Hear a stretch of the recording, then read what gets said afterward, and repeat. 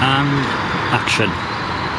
Hashtag for the day is Ash. You can probably guess what the EB is. Ah, I've actually got the domain. And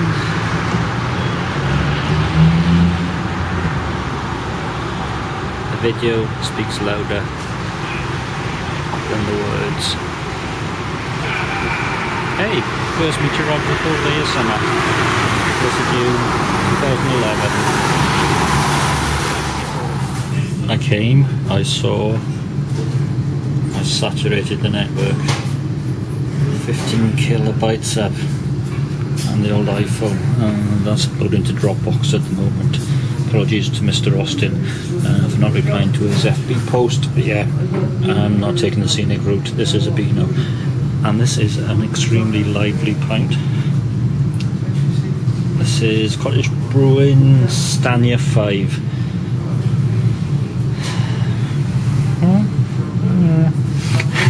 Stanier uh, and the railway engineer.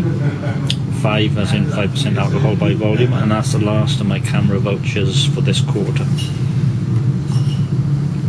It definitely was a bit lively. Nicely bodied. Citrusy, funny aftertasty thing. Smells sort of fruit.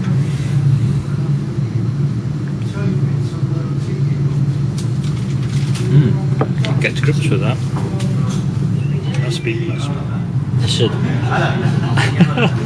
this is Bath Ales Rehe or Rehe by Bath Ales, five percent alcohol by volume, and it's a lively little beast. That's still going away. Uh, can't see my channel. Oh, it's done. Um, why is Ernest Willows the best Wetherspoon ever?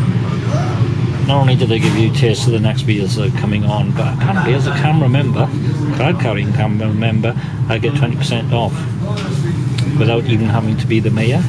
20% off breakfast, 20% off lunch, 20% off food stuff. No beer, so. But uh, I got this with the cards. Anyway, burbling. Burbling badly.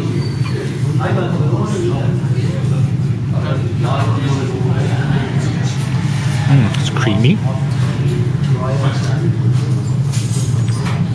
I'm not sure about that. Mm. Not very bitter, not very malty, sort of orangey taste. I'll give that a B. Looks so okay. The uploading's done. We've got 20% off on the food. Uh, this is Felinfoel Cambrian Bitter. Uh, I have no idea about the strength. I could Google it, but uh, what the hell? It's not on the bar top. Um, I said not cloudy, but uh, cloudy is good. In fact, in Berlin, unfiltered is considered to be a good thing, which I'm all in favour of. Creamy, bitter,